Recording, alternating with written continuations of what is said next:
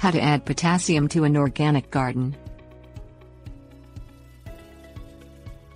Potassium is an essential nutrient in your organic garden soil, helping your plants take up nutrients and create protein.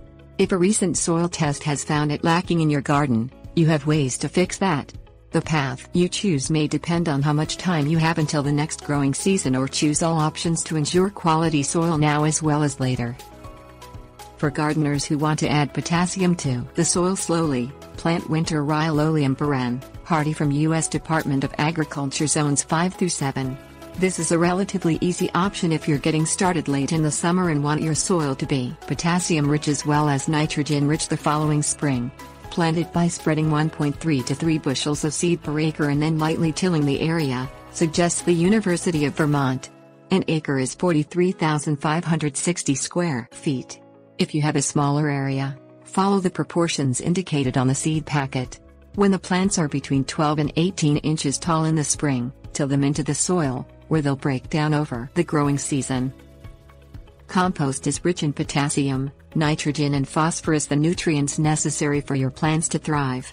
This too, though, is a slower method of delivering nutrients, so get it started in the fall so you can work it into your garden in the spring. Inside a bin or on the ground, lay down 6 to 8 inches of leaves, organic straw or other carbon-rich materials. Then add 2 inches of soil, as well as 1 or 2 inches of manure or kitchen scraps.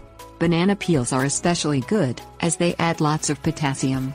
Continue adding layers and churn the pile with a pitchfork at least once a week. You can also use grass clippings, but since they get matted, add just 4 inches at a time, recommends the University of Missouri Extension. Work your crumbly, dark, finished compost into the soil in spring. Another option is to add manure directly to your soil, which can result in getting potassium and other nutrients to your plants faster.